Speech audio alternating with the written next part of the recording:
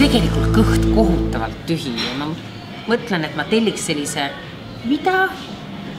issand, kui äge, siin on vegan menüü. Vau, basiilikus ja mis asja? paljas porgand jah, sa kutsusid mind tänu. issand rehmatav, mis toimub? Sina, basiilik äh, paljas porgand ühendasime. jõud. et äh, sain basiilikuga kokku ja tegime vinge vegan menüü, seepärast et mul on kahju, kui väike valik on meie taimsetel toitlejatel.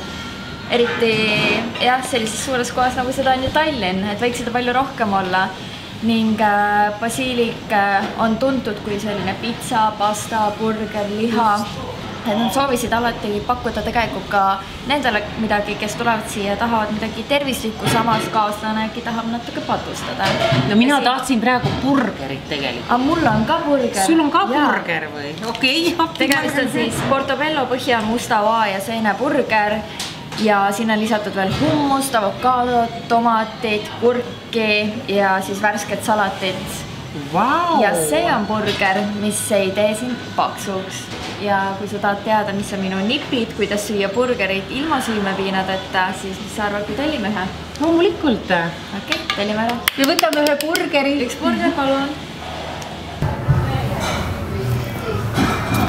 imeline Portobello burger mm,, kui isu äratav, aga oot-oot-oot-oot, ma ei saa nagu aru, kus, kas sai on pime olen või? Ei ole pime, et saia ei olegi jällegi äh, minu suurim nipp on siiski loobuda kõiksugustest jahutoodetest ja asjadest, mis tegelikult annavad meile tühja kaloreid, sest tegelikult on burger väga tervislik toit, kui me võtame välja sealt selle suure kukli osa, mis seal on. et äh, siin jah, on siis kukkel asendatud Portobello Portobello seenega ja Portobello seen on siis keskmisest suurem seen ja seda annab väga hästi grillida ja sinna vahele ja annab väga kergelt teha tegelikult burgeri ja selle olen ka mina ära kasutanud. aga tegemist on siis lahtise burgeriga ehk siis ülemist nagu nii-öelda kuklit või seda seent ei ole, et all on see. paljudes söögikohtades on see võimalus ka juba olemas tegelikult üle Eesti, et äh, see on- Portobello seen tahad öelda on olemas? jah, ja Portobello seent müüdakse kusjuures igas suuremas normaalsemas toidukaubaketis. okei okay., ehk siis põhja paned, räägime nüüd äh, äh, puust ja punaseks, põhja paned selle Portobello seene plätaka, siis mis siin järgmine siin on meil äh, sihuke tomati barbecue kaste, siis on äh, juustu ja siis on meil ka pihv. vaata, ma just tahtsin vaadata, et oota, pihv on siin, aga, aga me ei pidanud ju liha sööma. me rääkisime ju veganlusest või? jah, aga jällegi on väike nipike seal, et tegemist ei ole siis lihast koosneva pihviga, seepärast tegelikult äh, enamjaolt need burgeri vahel olevad pihvid on väga-väga rasvased.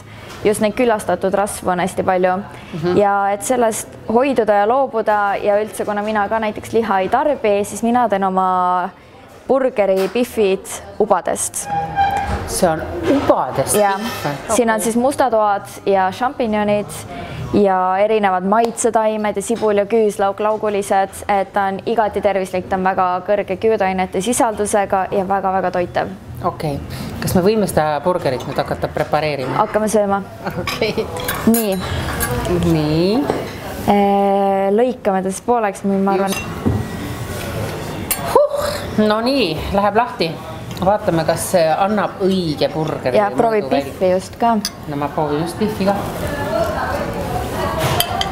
mm.. Mamma mia.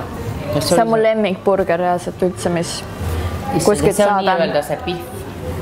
täitsa vegan ja väga tervislik, kõik, mis siin vahel on, on väga, väga tervislik ma arvan, et see ajab lihahimulise inimese ka täiesti. ja väga paljud on kiitnud, kes on ka ise muidu lihasööjad mm, -hmm. sest see pihv on väga sihuke maitsetaimed ja vürtsid ja asjad on see kõik esindatud, nii et mm -hmm. igati maitsekas.